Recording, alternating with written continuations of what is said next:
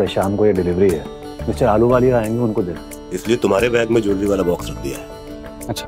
मैं रुकता लेकिन मुझे क्या इंपॉर्टेंट काम से जाना नहीं कोई बात नहीं। एक करोड़ का सामान है इसमें।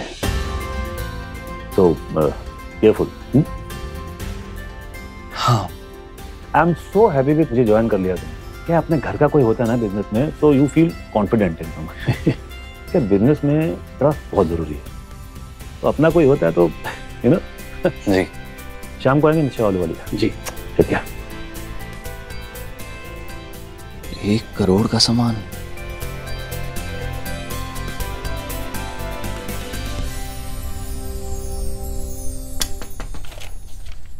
भैया! अरे वैभव! क्या बात है? आप बैठ। आओ आओ जल्दी बैठ। बैठिए। तू भी बैठना। अरे नहीं। मैं तो बस ऐसे ही एक छोटा सा काम भी था तेरे से। बोलिए ना। आ, वो क्या है कि आ, मेरे पास ना एक बहुत बढ़िया बिज़नेस आइडिया है। मतलब नंबर वन पर उसमें क्या है कि थोड़ा इन्वेस्टमेंट लगेगा तो उस जुगाड़ में उसके लिए ही मैं तेरे पास आया हूँ। इन्वेस्टमेंट के लिए आप मेरे पास आए? मज़ाक कर रहे हैं आप। मैं भैया मैं कैसे ले दे के तो मैं अपना काम चला रहा हूँ और अपने ससुर की दुकान में काम कर रहा हूँ। अरे वही तो वही तो। तू बहुत लकी है। मतलब देख ना तेरे जो ससुर है ना इतने अच्छे आदमी। तो मैं ये सोच रहा था कि तू अगर उनसे बात करे बिज़नेस में इन्वेस्टमेंट करने के लिए तो। आपके भी तो ससुर है ना वो इन्वेस्ट कर देंगे। हाँ? उनसे बात कीजिए आप। हाँ मांग सकता हूँ वो मना भी नहीं करेंगे। बस फिर।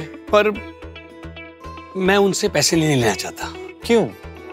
क्योंकि वो मेरे बारे में ये सोचते हैं कि मैं माया का ख्याल बराबर से नहीं रख पा रहा हूँ। उसके सारे नखरे, मेरा मतलब है कि उसके सारे खर्चे पूरे नहीं कर पा रहा हूँ और अभी तो ये बच्चे की ज़िम्मेदारी भी आने वाली है। और तू जानता है कि मैं खुददार आदमी हूँ। मैं माया और उसके पूरे परिवार को प्रूव कर देना चाहता हूँ कि माया मेरी और अपने बच्चे की ज़िम्मेदारी मैं उठा सकता हूँ। इसीलिए मैं उसे पैसे नहीं मांगूँगा। पर तू तू अपने ससुर से मांग सकता है। हम हम कहीं और से भी तो पैसे अरेंज कर सकते हैं ना मतलब कुछ। अरे वैभव कहीं और से अरेंज करने की ज़रूरत क्या है? तेरे ससुर के पास इत... कहीं तुझे ऐसा तो नहीं लग रहा है कि मैं तेरे ससुर के पैसे लेकर भाग जाऊँगा? नहीं नहीं भैया मैंने ऐसा कब कहा? आई ट्रस्ट यू ऐसा कुछ भी नहीं है। भैया आपका ट्रैक रिकॉर्ड खराब है। पता था मुझे। पता था कि तू मना करेगा इसी रीजन के लिए। पर तुझे कैसे समझाओ वैभव? हो जाती गलती यार। मतलब गलतियाँ की है मैंने। पर मम्मी की थप्पड़ खाने के बाद पापा तो मुझे घर से बाहर निकालने को तैयार हो गए थे यार। मैं एकदम सुधर गया हूँ यार। कैसे बताऊँ तुझे? मुझे मालूम है कि सबको पता है, पर देख वैभव, मुझे फ़िलहाल पैसों की बहुत ज़रूरत है। मेरा बच्चा होने वाला है। उसके लिए मुझे पैसे इकट्ठा करने कैसे भी करके। इसलिए मैं तेरे पास आया था। तू मदद करे, नहीं करे। मुझे पैसों का जुगाड़ करना है कहीं से भी। चाहे उसके लिए मुझे बैंक क्यों ना लूटनी पड़े? डाका क्यों नहीं डालना पड़े? अरे भैया आप मुझे भी पता है आपको भी पता है आप ऐसा कुछ नहीं करेंगे है ना? आप आइए। यार आप बैठिए आराम से। बैठिए। भैया आप बुरा क्यों मान रहे हैं? देखिए मुझे ना आप पे पूरा विश्वास है। आप जल्द ही कुछ ना कुछ अपने बलबूते पे बहुत अच्छा करेंगे। थोड़ा समय लगता है भैया। और हो जाएगा। हम है ना साथ में? अच्छा आप बैठिए मैं आपके लिए कोल्ड ड्रिंक लेके आता हूँ ठीक है? बैठिए आप आराम से।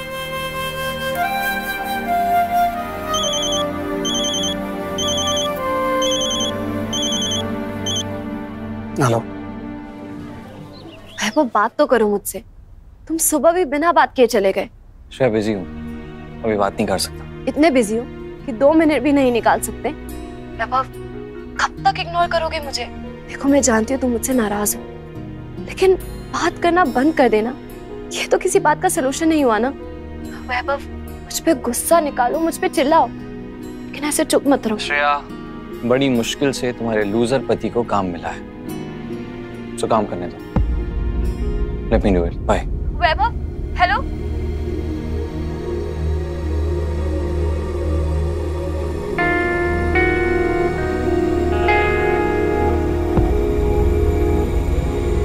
भैया आपके लिए कोल्ड ड्रिंक अरे? कहाँ गए रोहित भैया?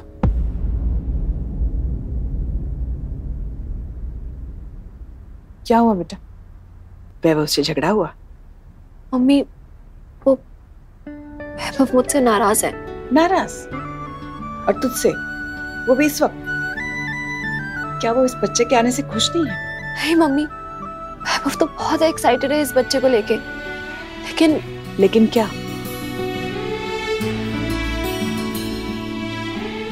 उसे लगता है मुझे ये बच्चा नहीं चाहिए।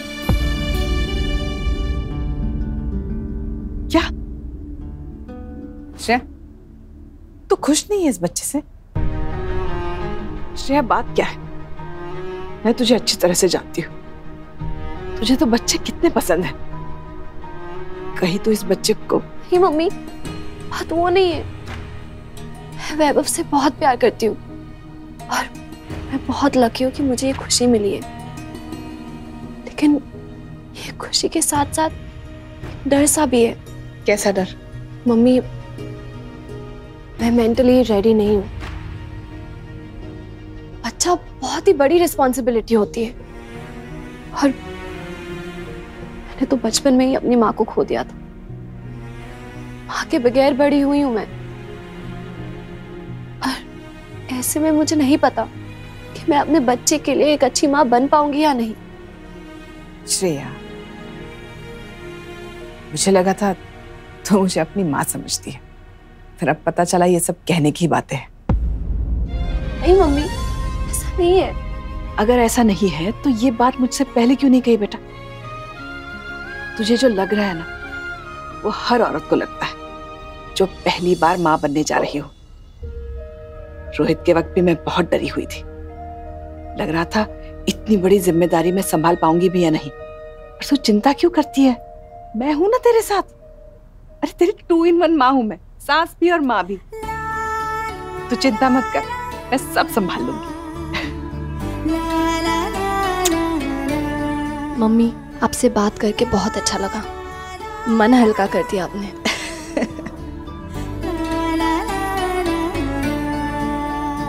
पोछ और जल्दी से बाहर आ जा तेरे लिए एक सरप्राइज़ रखा है मैंने। जल्दी आना।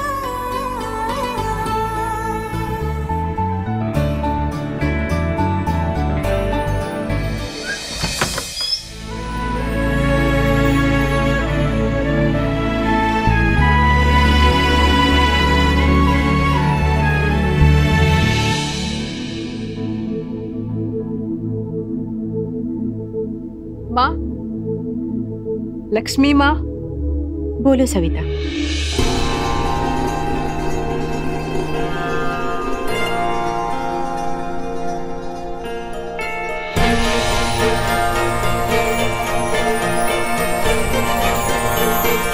माँ, मैं आपको कुछ दिखाना चाहती हूँ।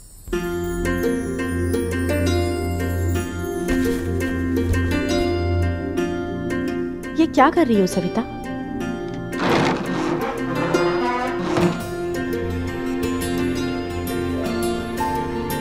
ये देखिए माँ ये पालना आपको कैसा लगा?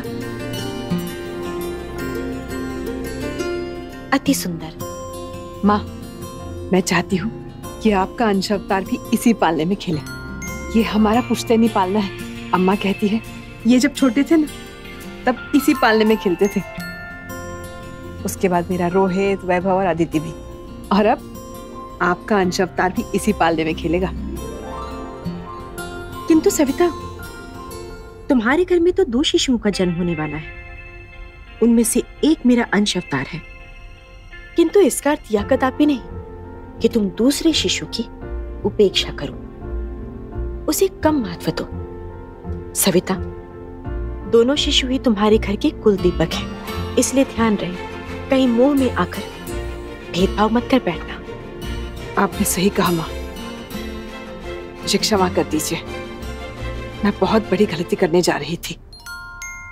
माया घर की बड़ी बहू है। इसलिए इस पालने पे सबसे पहला हक उसी की संतान का होना चाहिए। मैं श्रेया के संतान के लिए दूसरा पालना मंगा दूँगी।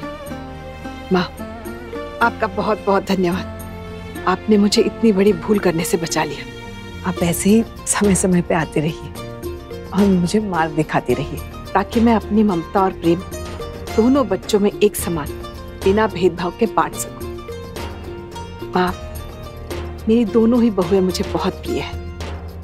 तो मैं उनके बच्चों में अंतर कैसे कर सकती हूँ? मुझे तुमसे यही अपेक्षा है सविता।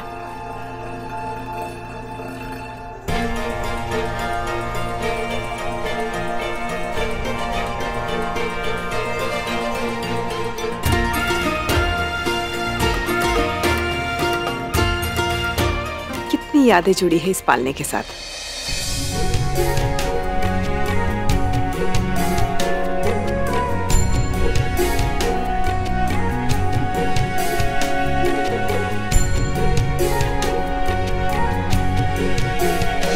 सविता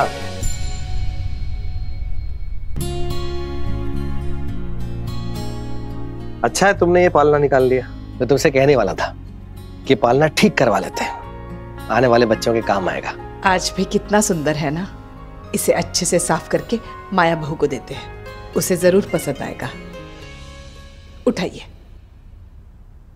भाभी मम्मी कहाँ है? वो उन्होंने मुझे बुलाया। पता नहीं। बुलाया तो मुझे भी है। श्रेया माया? मेरे पास कुछ खास है तुम दोनों के लिए।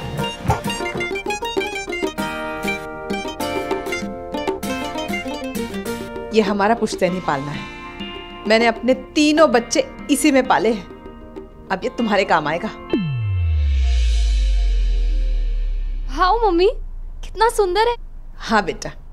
कुछ चीज़ें कभी पुरानी नहीं होती। सदा बहार है ये। अम्मा ने बनवाया था मेरे लिए। अब मुझे क्या पता था कि तुम दोनों ही मुझे खुशखबरी दोगे? घर में बच्चे आ रहे दो और पालना है एक। तो मैंने सोचा ये पुश्ते नहीं पालना मैं अपनी बड़ी बहू माया को दे दूँ।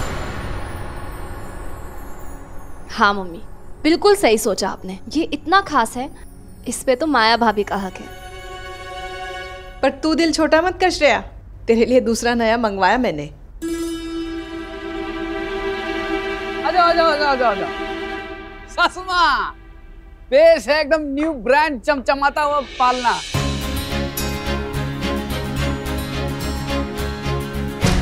ऐसा लग रहा है ना, जैसे किसी महाराजा के बच्चे के लिए बनाया गया।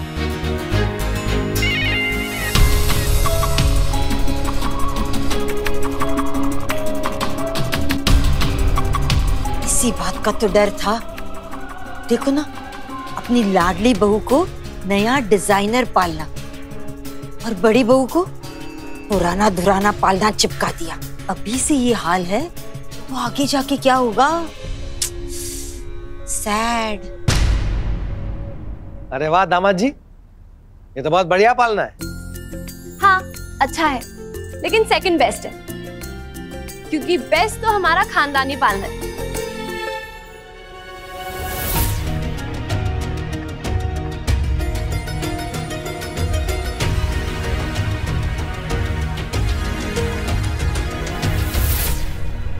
श्रेया ये नाटक ना बंद ही करो तुम बस। किस एंगल से तुम्हें ये पढ़ना बेस्ट नज़र आ रहा है? माया बेटा तुम्हें ये पसंद नहीं आया? मम्मी जी पसंद आने जैसा है क्या इसमें? पहला बच्चा है ये। उसके लिए आप लोग ये ये बाबा आदम के जमाने का पालना देना चाहते हैं। माया ये पुश्ते नहीं पालना है बेटा। ये पुरखों का आशीर्वाद है ये। ये बहुत खास है। खास। ये देखिए मम्मी कबाड़ है ये।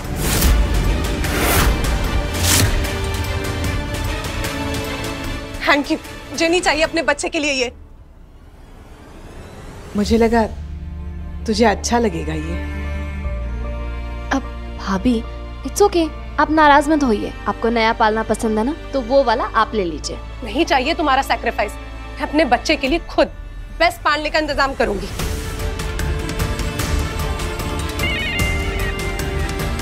रोहित भैया। भैया। अरे वैभव इधर हूँ मैं। क्यों चिल्ला रहा? है भैया वो वो बॉक्स कहाँ है? वो ज्वेलरी बॉक्स ज्वेलरी बॉक्स कौन सा? वैभव क्या हो रहा है? नहीं नहीं कुछ नहीं पापा बस वो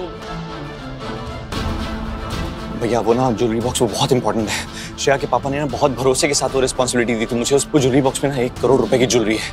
प्लीज़ प्लीज़ अगर आपको एक मिनट रिलैक्स रिलैक्स मैं तेरे ऑफ़िस में आया था तब की बात कर रहा है ना? कि, अरे पर मुझे तो समझ में नहीं आ रहा कौन सी बॉक्स की बात कर रहा है। देख तू बाहर गया था मेरे लिए कोल्ड ड्रिंक लाने के लिए तो मैं दो तीन मिनट बैठा था वहाँ पर और फिर निकल गया। भैया पर मैं जब कोल्ड ड्रिंक लेके आया था तो आप भी नहीं थे और वो ज्वेलरी बॉक्स भी नहीं था। हाँ तुम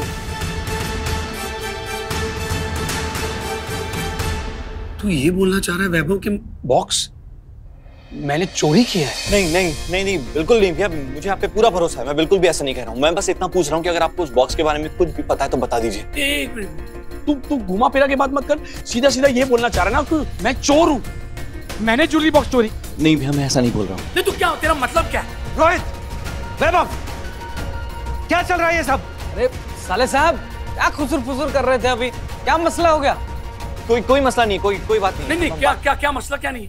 तू मुझ पर इल्ज़ाम लगा रहा है ना? तू एक काम करना पूरी फैमिली के सामने लगा मुझ पर इल्ज़ाम। अरे पर हुआ क्या? मैं बताता हूँ मम्मी भैया आप आपका जो ये लाडला होनार बेटा है ना वो मुझ पर इल्ज़ाम लगा रहा है कि मैं चोर हूँ।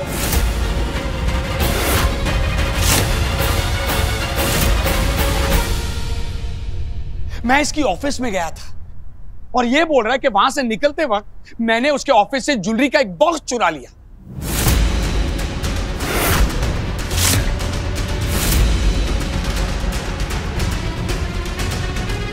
ये क्या कह रहा है?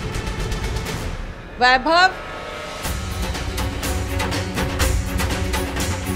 मैंने ना दिया था आपको लास्ट चांस पर आप नहीं माने। अब मुझे वो करना पड़ेगा जो मैं नहीं करना चाहता था। फैमिली को भी इन्वॉल्व कर लिया ना आपने। अब देखिए। ये देखिए। ये तब का वीडियो है जब भैया ऑफ़िस में आए थे और उनके हाथ में कुछ भी नहीं। और ये वो वीडियो है जब भैया ऑफ़िस से बाहर गए, उनके हाथ को देखिए ध्यान से। उनके हाथ में ज्वेलरी बॉक्स है। दिख रहा है आप लोग को?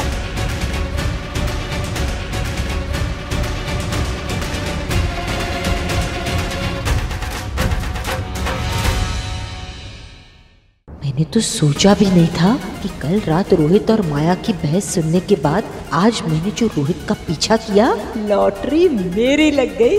हम कहीं और से भी तो पैसे अरेंज कर सकते हैं ना मतलब अरे वैभव कहीं और से अरेंज करने की ज़रूरत क्या है?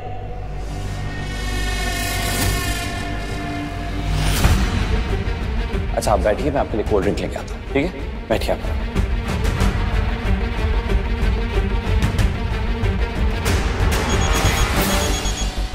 बोलो माया। रोहित सुनो ना तुम्हारा टिफ़िन गलती से वैभव के बैग में चला गया है उसको ले लेना। अच्छा तुमने टाइम पर फ़ोन कर दिया। मैं वैभव के साथ ही हूँ। ले लेता हूँ मैं टिफ़िन। Okay bye.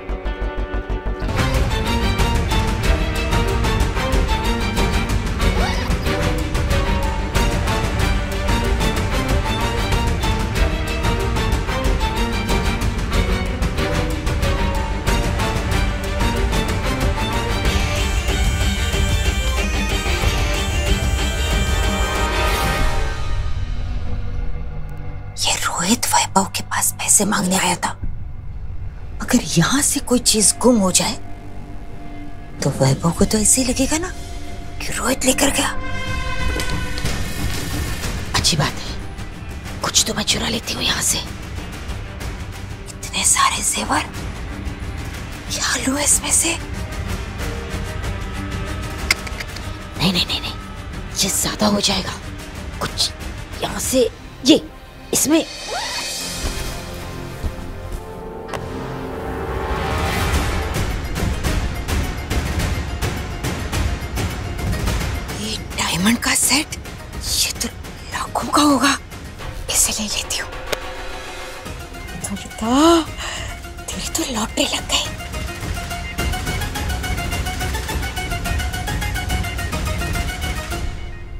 बाहर तो सीसीटीवी कैमरा है। इस सीसीटीवी कैमरा से छुपना होगा किसी तरह।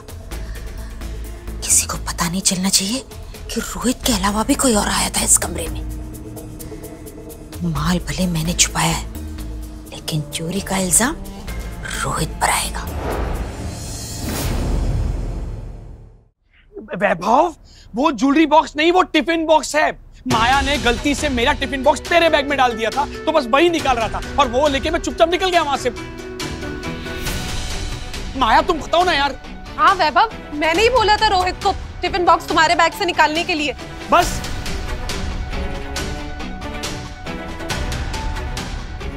वाह इस घर में मेरी इज़्ज़त तो पहले से ही नहीं है। और मम्मी आज आपके बेटे ने मुझे एक नई उपाधि दे दी। चोर! चोर बोल दिया मुझे। वैभव, तुझे कोई गलतफहमी हो गई है। रोहित ऐसा नहीं करेगा। मम्मी, एक बात बताओ। मुझे अपने बड़े भाई पे सवाल उठाते अच्छा लग रहा है क्या? बिल्कुल भी नहीं। पर आपने देखा ना वीडियो में? हाँ मुझे जो दिख रहा है, मैं वही बोल रहा हूँ। और मम्मी, भैया मेरे पास ऑफ़िस में पैसे की बात करने आए थे। बोल रहे थे कि इन्हें पैसे की ज़रूरत है और ऐसे में वो ज्वेलरी बॉक्स का गुम हो जाना, भैया का वहाँ पे नहीं रहना। और ये वीडियो मैं क्या करूँ?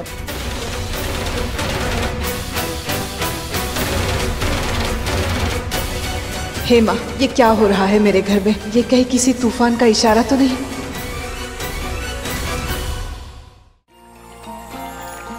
आज आप जीवन के जिस भी पड़ाव पर हैं, उसका कारण कोई और नहीं। अभी तो अतीत में लिए गए। आपके द्वारा आपके निर्णय ही है।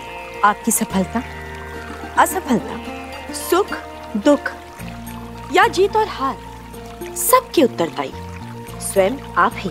यदि वृक्ष बबूल का उगाएँगे तो मीठे फल नहीं। अभी तो कांटे ही प्राप्त होंगे। इसलिए कोई भी निर्णय सोच समझकर और बुद्धिमानी से ले, जो बुद्धि और विवेक से निर्णय लेते हैं, लक्ष्मी के आशीर्वाद को वो शीघ्र ही प्राप्त कर लेते हैं। आप समझे ना? मेरी ये शुभ बातें और लाभ की बातें समझते रहिए, क्योंकि लक्ष्मी पहले समझ में आती है और तभी घर में आती है। For more updates, subscribe to our channel, click the show links and enjoy watching the videos.